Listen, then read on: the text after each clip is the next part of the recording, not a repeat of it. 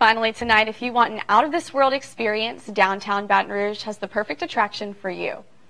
The Louisiana Art and Science Museum is reintroducing a new escape into a few heavenly realms. For a general admissions fee, visitors can watch unlimited plan planetarium shows for the day, many of which focus on the cosmos. Stargazing, a crowd favorite, begins at 10 a.m. every Saturday. Director of Communications Francis Lee says it's a nice break from the world's current situation. It's just like mind blowing to just lay back and look up and be reminded of what all is out there uh, beyond just our life um, on Earth, especially during COVID, you know, when everything's very stressful.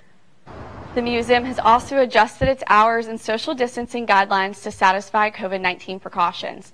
Specifics on ticket pricing and the museum's hours can be found on the website LASM. The general admissions fee also covers the museum's art exhibits. That's all the time we have for tonight's News Beat.